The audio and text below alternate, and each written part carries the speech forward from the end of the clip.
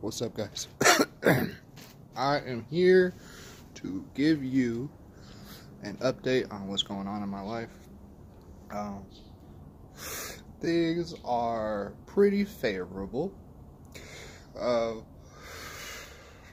very amicable, very friendly with the family right now. Uh, I need a haircut. Fucking funny story.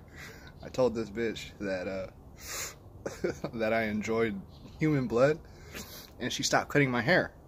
As you can see, this bitch stopped cutting my hair because I fucking freaked her out.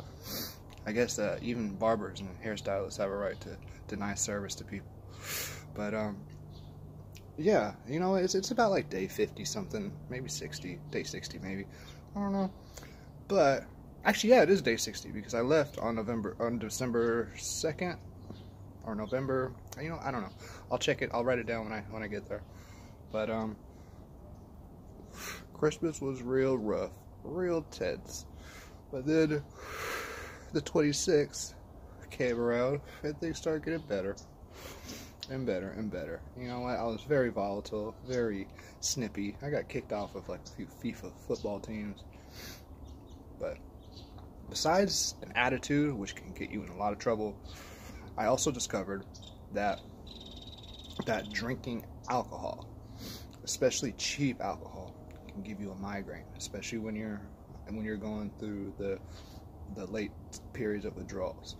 Always, always fucking stick with your routine when you're going through a methadone withdrawal or an opiate withdrawal in general because you don't buy your gallon of water one day you're gonna have a headache that day. You have three or four beers instead of just like one or two beers, you're gonna have a major migraine like right here, and it's no joke. So, just uh, everything's going really good. I'm gaining a lot of muscle. I'm gaining a lot of water weight from fasting, and um,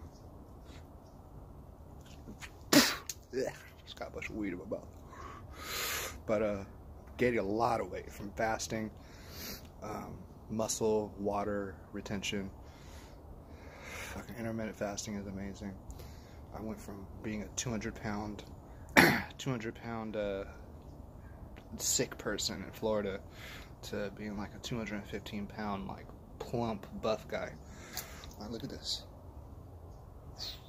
But uh, I mean, I'm still fat. I'm still fat, but like I'm gaining a lot of weight and it's not fat because I, I know nutrition enough to know that this isn't all fat. But this stuff does help with my hunger. Um, I'd recommend this stuff.